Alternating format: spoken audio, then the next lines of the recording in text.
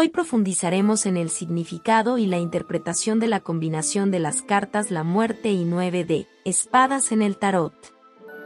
La carta de la muerte suele representar la transformación, el cambio y el fin de una etapa. No necesariamente implica la muerte física, sino más bien la terminación de algo para dar paso a algo nuevo.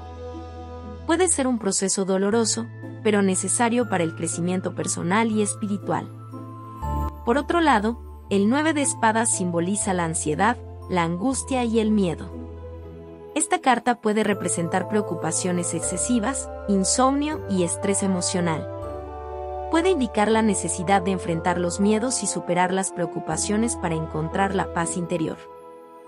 Cuando estas dos cartas aparecen juntas, la interpretación puede sugerir que se avecina un cambio drástico que puede generar ansiedad o miedo en el aspecto amoroso, puede significar el final de una relación o el inicio de una nueva etapa emocionalmente desafiante.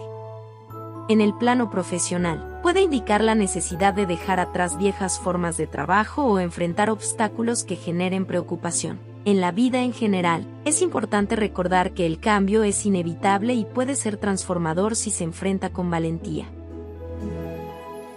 La combinación de la muerte y nueve de espadas enfatiza la importancia de aceptar y abrazar los cambios, incluso si generan temor o preocupación. Es un recordatorio de que el crecimiento personal y profesional a menudo requiere enfrentar desafíos y superar miedos para alcanzar una transformación positiva. Gracias por mirar.